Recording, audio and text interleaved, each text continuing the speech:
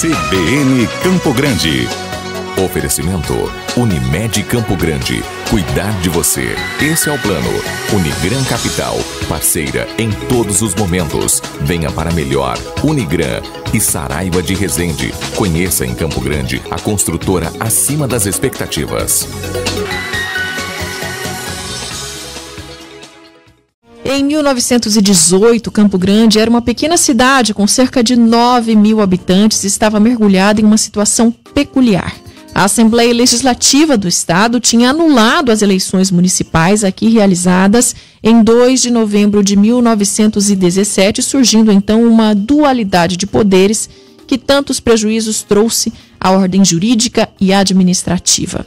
Dom Francisco de Aquino Correia, então presidente do Estado, nomeou Rosário Congro para intendente, cargo que ele ocupou entre novembro de 1918, entre setembro de 1918 e setembro de 1919. Então agora a gente vai fazer uma viagem no tempo, porque estamos no mês do aniversário de Campo Grande. Todos os dias a gente vai trazer aqui esse assunto de uma forma diferente, claro, mas falando sempre do aniversário de Campo Grande. Ontem estivemos lá na rua 14 de julho, no centro de Campo Grande, contando um pouquinho da história dessa rua tão especial. E hoje nós vamos falar então de um livro que transporta a gente lá para 1919, escrito por Rosário Congro, que é o bisavô aqui do nosso diretor executivo do grupo RCN, o Estevão Congro. Vamos conversar sobre esse assunto agora com a professora Maria Madalena Dib, presidente do Instituto Histórico e Geográfico de Mato Grosso do Sul. Bom dia. Bom dia, Daniele. Bom dia a todos os ouvintes que estão participando conosco nessa viagem no tempo. Com certeza. E a gente está falando então de 1919, onde o interventor Rosário Congro é, conta, através desse livro aqui, peculiaridades da nossa capital, né? Então, o Rosário Congro, ele, eu, eu considero um, dos políticos mais é, bem formados pela própria formação, pela própria pessoa que ele é, certo? Ele veio, era um paulistano, veio de São Paulo, foi deputado em, em Corumbá, e foi designado pelo presidente, né, Dom Aquino, que era o presidente do estágio Mato Grosso, para vir como interventor nessa situação que você já expôs. Mas ele tem uma peculiaridade, ele inova. Quando não haviam ainda a, nem ideia de que era um portal de transparência, ele termina este ano como interventor com um relatório e ele fala nesse relatório tudo o que ele fez, de uma forma muito transparente e muito inovadora. Teve inclusive a elaboração de um código de posturas, né? Já naquele momento. Não, ele traz assim, ele veio. Quando ele, o, o Barçanufo, o doutor Eurípides Barçanufo, que é o biógrafo do Congo, né? Ele faz a, ele traz essa, esse perfil inovador dele. E você veja bem, ele narra no, no relatório dele, que é de, foi publicado pela Assembleia Legislativa do governo de Mato Grosso em 1920 e nós reeditamos esse, esse livro, né? já está na sua terceira edição. E ele diz o seguinte, o Rosário, que quando ele chega, Campo Grande tinha o prédio da Câmara Municipal, ele tinha um matadouro que bem inconclusivo, muito precário, e duas ou três pontes de madeira e algumas de alvenaria. O resto da cidade era terra arrasada. Então ele fazendo uma série de, de ordenações, inclusive esse código de postura. Ele vai determinando, vai emplacando a cidade, ele vai, ele faz o jardim público, né, onde hoje a Praça de Coelho era chamado de jardim público, cemitério, ele dá um formato para a cidade de Campo Grande. É ele coloca a cidade dentro de um padrão de uma cidade, porque o que a gente percebe é que não tinha uma delimitação do que é uma área urbana, suburbana ou rural. É ele que vai ordenando tudo isso nesse um ano que ele fica conosco. E com cerca de três meses de trabalho, veio a primeira grande dificuldade, né? A gripe espanhola atingiu o município em novembro de 1918. É, então, essa aí é, um, é essa pandemia, ela entra no Brasil através dos portos, né? Alguns pesquisadores dizem que ela faz, ela vem né, com o navio Demerara ali em Recife, Salvador, Rio de Janeiro, Santos, e ela entra para o interior, e no nosso caso, ela vem via férrea. O trem acaba por alastrar. E você veja bem, ele fala no relatório dele de duas mil pessoas contaminadas. Então, é complicado isso, porque nós não tínhamos ainda nenhum hospital. É ele quem doa para. Sociedade beneficente, né? Casa, isso, terreno. Então, quando você tem uma cidade com uma população urbana de 9 mil habitantes você pensa em duas mil pessoas contaminadas, realmente é um volume muito grande. E ele teve que lidar com isso também.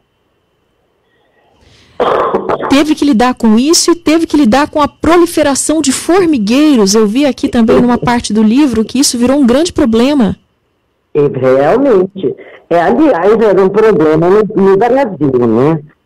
É, ou a gente acaba com essa uva, ou essa uva acaba com o Brasil.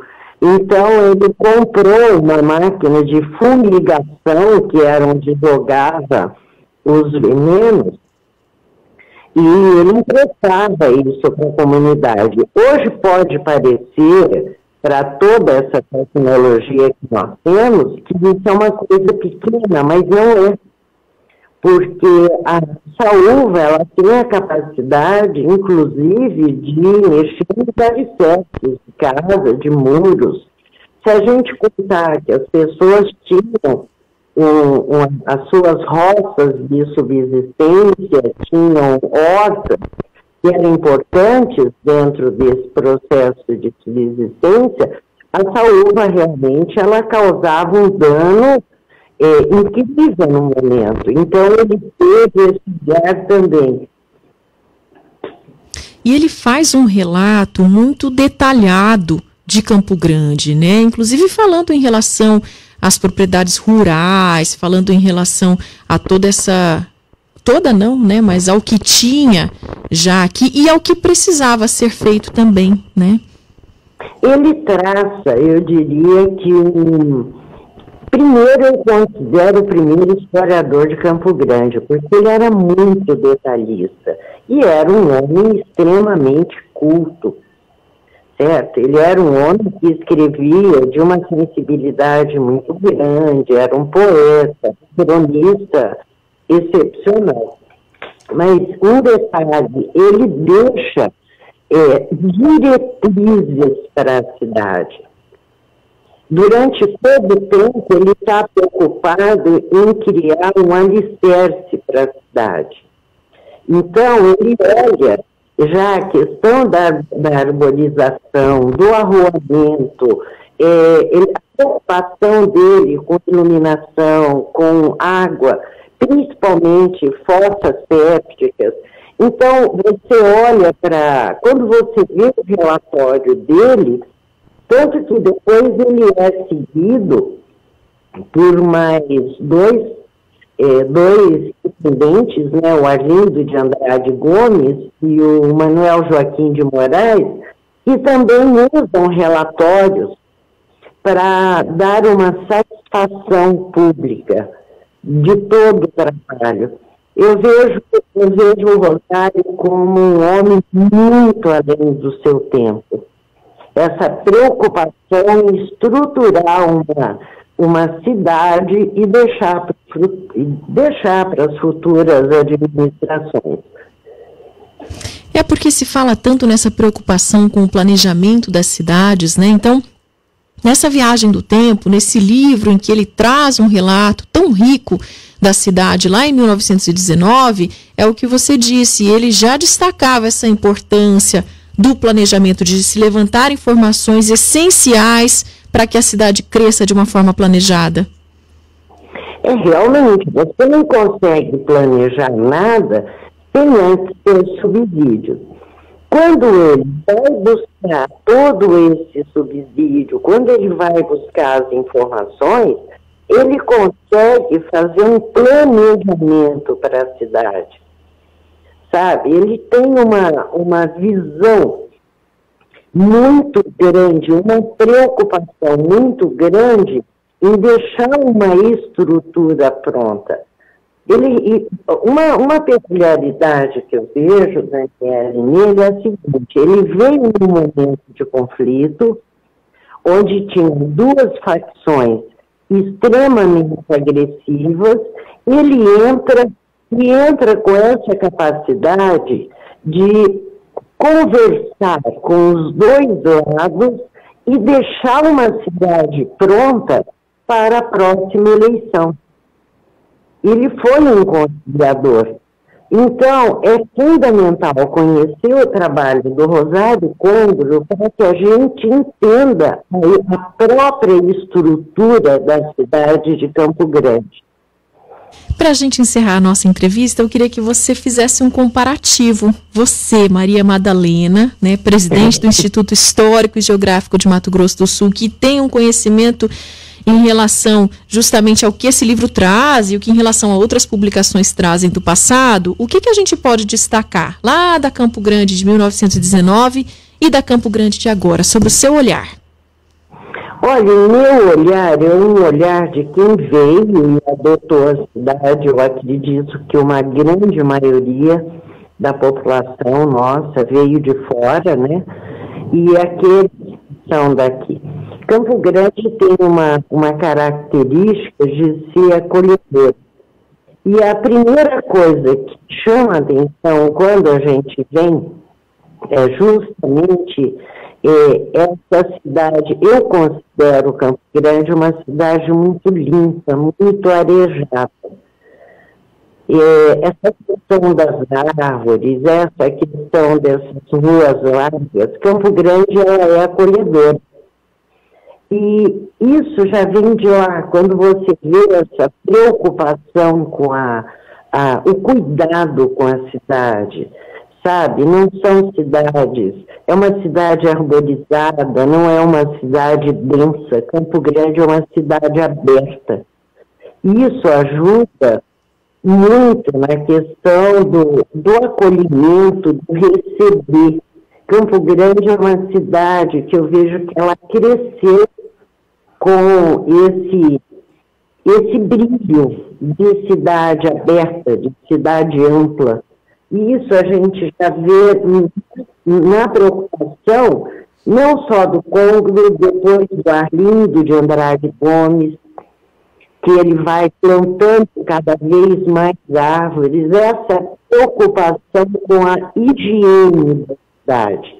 Nós tivemos, assim, grandes grandes administradores que se preocuparam com isso. E o Congro, sem dúvida, foi o precursor dele.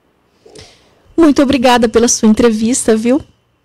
Imagina, nós estamos aqui à disposição, o Instituto tem muito material eh, sobre Campo Grande, sobre o nosso Estado, e é um grande prazer nós estarmos contribuindo com a recuperação de memórias de grandes pessoas que construíram nossa cidade. CBN Campo Grande. Oferecimento Unimed Campo Grande. Cuidar de você. Esse é o plano. Unigran Capital.